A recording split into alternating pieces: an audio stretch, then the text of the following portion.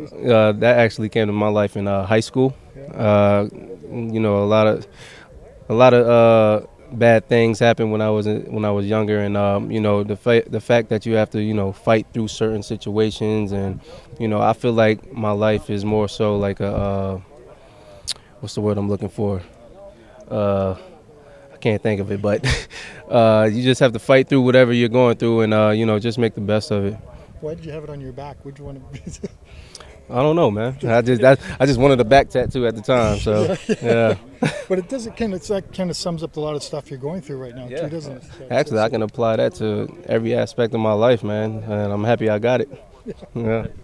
Uh, y- your uh, your cousin Malcolm Jenkins. Uh, what, what did what did his dad mean mean to you? I read a story that he he'd went around the community and made sure kids were getting to practice and things. I'll be honest, man. When we were younger, uh, we used to go into the backyard, and he used to throw footballs at us. I mean, 100 miles an hour. And he used to have us run routes. He used to have us go out and play seven on seven. He was a big aspect.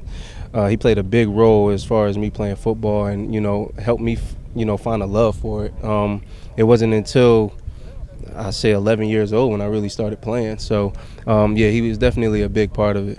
And the fact to see Malcolm, you know, uh, go to Ohio State and make it big first round, that that inspired me tremendously.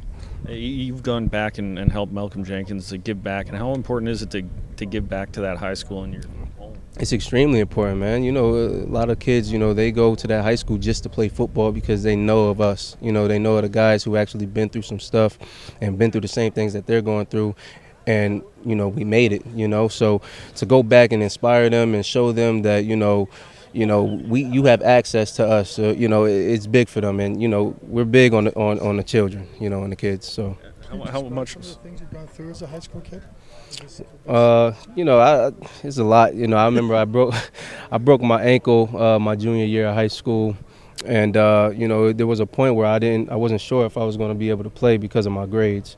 So, um, you know, which is why I went to a junior college, and uh, you know, just just hurdling over those obstacles, you man, it, it helped me out a lot. You know, in the long run, you know, after being cut from the Lions and you know not making, I mean, being uh, brought down onto the practice squad after being on a roster, you know, it, it helps, you know. Even here. Yeah, even here. cut here. That's what I'm saying. Yeah, so about this in July. yeah, yeah, yeah. It's it's tough, man. But you know, uh, with with everything good, there's going to be some bad. You just have to make sure you see through it. And what do you set as a goal for t- Saturday's game?